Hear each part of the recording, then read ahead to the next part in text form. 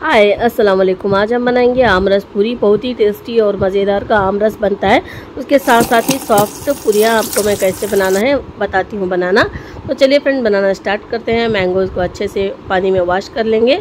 अब ऊपर से इसका छिलका निकाल लेते हैं। यहाँ पर देखिए, मैं सारा पल्प निकाल ली हूँ। अब एक मिक्सी जार में डालेंगे। इसको अच्छे से ब्लाइंड करना है। अब मैं इसमें डालती हूँ आइस क्यूब डालेंगे। इलायची डालेंगे। शक्कर डालेंगे। चिल्ड वाटर डालेंगे। आप चाहे तो ज़्यादा आइस क्यूब भी डाल सकते हैं। अब अच्छे से इसको ग्राइंड कर लेते हैं। देखिए, इस तरह से आमरस अच्छे से ब्लेंड हो गया इसको एक दूसरे पतीले में निकाल लेते हैं। इस तरह से चाहिए हमें आमरस। चलिए अब बनाते हैं सॉफ्ट पूरियाँ। अब मैं यहाँ पर ली हूँ गेहूँ का आटा, नमक डाली हूँ और यहाँ पर ली हूँ कोल्ड वाटर इसको अच्छे से गून के रखी हूँ और ऊपर से थोड़ा ही ऑयल लगाएँगे।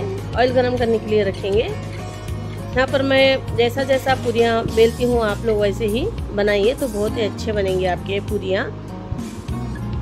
क्रिस्पी और क्रंची बनेंगे। आमरस के साथ खाएँगे ना तो बहुत अच्छा लगेगा।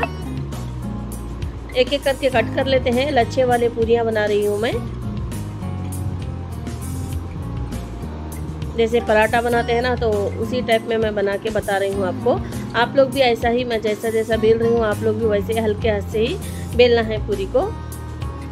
अब डाल देते हैं। ऑयल गर्म हो चुका था। ऊपर से थोड़ा तेल डालना है हमें। देखिए, इस तरह से खुली खुली पूरी आपको दिख रही होगी। इस तरह से चाहिए हमें। ये बन के हो गई है, निकाल लेते हैं प्लेट में। दूसरी भी बनकर तैयार होगी। आप चाहे तो ऐसी भी प्लेन भी बना सकते हैं, फुली फुली पूरी।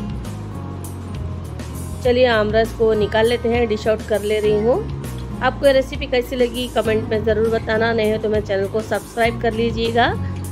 अपना ख्याल रखिएगा, दुआ में याद रखना। अल्लाह हाफिज़ बाय